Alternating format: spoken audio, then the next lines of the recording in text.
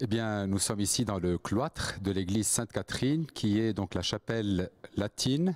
de la basilique de la Nativité. C'est intéressant de rappeler que ici, euh, pour la fête de Noël, la, messe de minuit de Noël, tous les ans, le patriarche de Jérusalem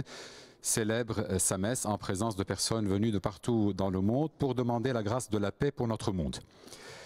Alors, la basilique donc de la Nativité dans laquelle nous nous situons, puisque ce cloître fait partie donc de ce grand complexe de la, basilique, a été bâti au IVe siècle, puisque pendant les trois premiers siècles, les, Romains avaient planté ici un bosquet qu'on appelait le bosquet d'Adonis,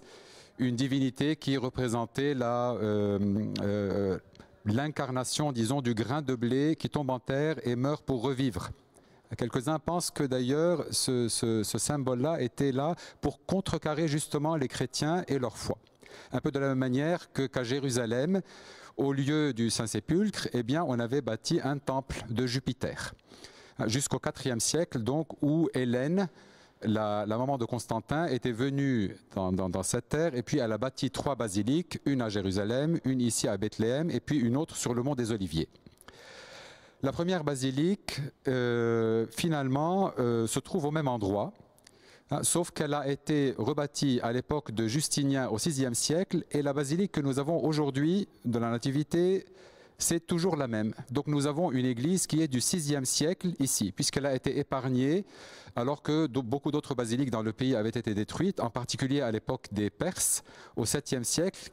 euh, puisque la légende veut que quand les Perses sont arrivés devant la basilique de la Nativité, ils ont vu la représentation des rois mages qui leur, ont rappelé justement les vêtements perses hein, qui sont les leurs, et donc ils ont épargné cette basilique. Qu'est-ce qui est important dans cette basilique?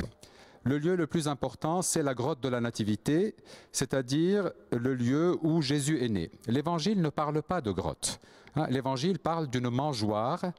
mais il n'est pas exclu qu'effectivement la mangeoire était au sein d'une grotte, puisque les, restes des maisons de Bethléem que nous possédons encore montrent bien qu'il y avait souvent une grotte contiguë à la maison, où on pouvait faire entrer les bêtes euh, en hiver par exemple, et certaines personnes couchaient là-bas.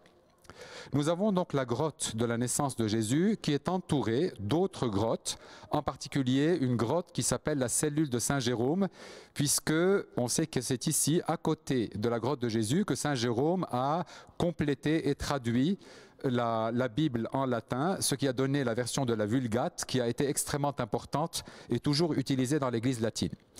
Il y a aussi d'autres grottes à côté. Il y a une grotte qui célèbre aussi les, les, les, petits-enfants, les premiers-nés, qui ont été martyrisés au moment de la naissance de Jésus. Il y a aussi une grotte en l'honneur de Saint Joseph. Dans la basilique de la Nativité, on trouve aussi beaucoup d'autres représentations qui sont riches, des mosaïques très anciennes, ou bien qui représentent des scènes évangéliques, ou des scènes qui représentent les prophètes qui sont rattachés à l'arbre de Jessé, avec le texte ouvert de l'Ancien Testament qui prophétise la naissance du fils de David, comme nous avons également des mosaïques qui représentent des conciles de l'Église provinciaux ou bien des conciles œcuméniques.